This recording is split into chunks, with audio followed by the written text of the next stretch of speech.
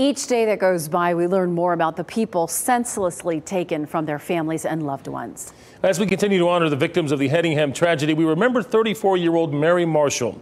She was a Navy veteran, a dog lover, and a fiance set to be married in 11 days. And tonight only on WRAL, her fiance and her sister are speaking with WRAL's Chelsea Donovan, recounting the moments last Thursday that would change them forever. Chelsea.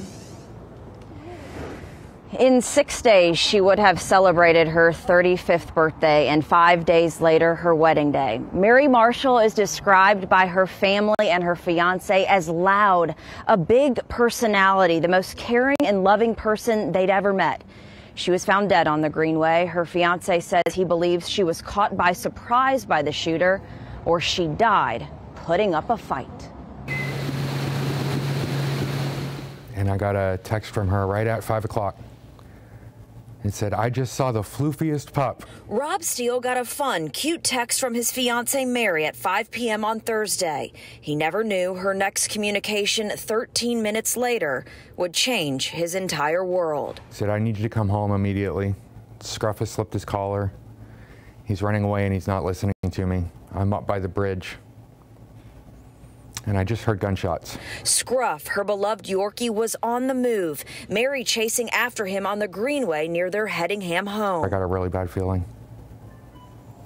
And I tried calling her and it rang and rang. He arrived home to this. Police cars crawling everywhere. An active shooter leaving a trail of terror. Rob and Mary's family waited for three hours in agony.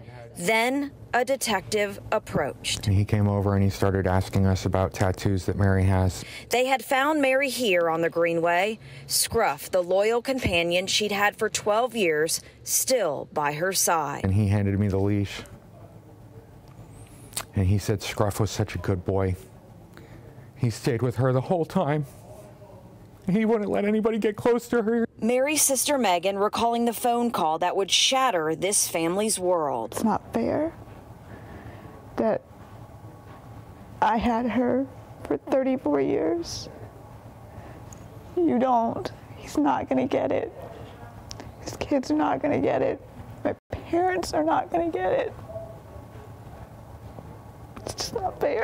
The fiance she met during the pandemic, now without his partner. I would live till I was 80 so that she and I could grow old together. And I never once in a million years thought that it would be her that went first. Their wedding day, October 29th, now Mary's celebration of life. I wanted to be standing at the end of the aisle in less than two weeks. I wanted to see the smile on her face as we started the rest of our life together.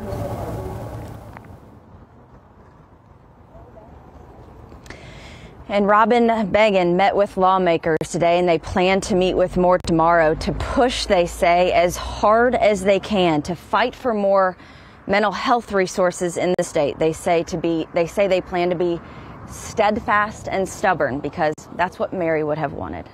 Back to she you. Seems like she was a, just an amazing person. Chelsea Donovan reporting live in Raleigh. Thank you, Chelsea.